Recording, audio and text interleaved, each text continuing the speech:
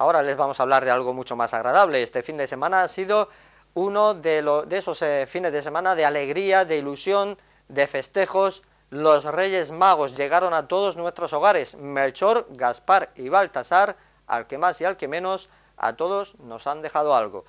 El, el sábado por la tarde estuvieron en Orihuela en la cabalgata desfilando para que todos los niños lo pudieran ver en esa misma mañana del sábado fueron recibidos por la corporación municipal en el ayuntamiento y ayer domingo, si no en la noche antes, todos los niños y también los mayores recibimos nuestros regalos. Los Reyes Magos llegaron a Orihuela el 4 de enero con la visita al Hospital Comarcal para entregar regalos a los niños que allí se encuentran hospitalizados. Fue el 5 de enero, el sábado por la mañana, cuando fueron recibidos por la Corporación Municipal y en especial por el alcalde de la ciudad, Emilio Vascuñana, y la concejal de festividades, Mariola Rocamora, en el ayuntamiento de la ciudad. El primer edil les dio la bienvenida y fue el encargado de hacer entregar a Baltasar, en representación de sus tres majestades, la llave de la ciudad para que esa noche pudieran hacer entrega de sus regalos a todas las casas oriolanas.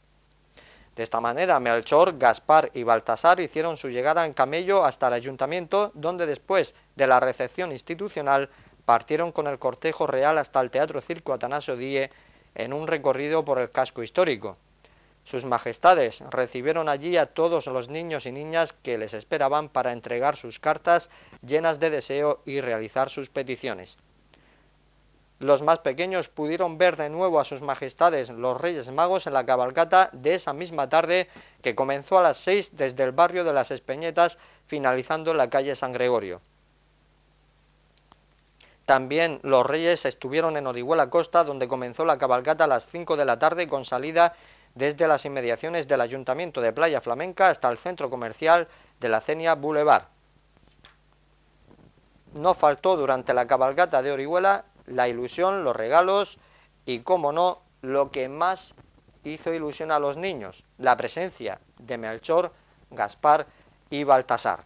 Pudieron ver en directo a través de nuestras cámaras de Telorihuela esa retransmisión de la cabalgata pasar por delante de la calle San Pascual, donde teníamos nuestras cámaras. Fue una cabalgata corta, pero intensa e ilusionante.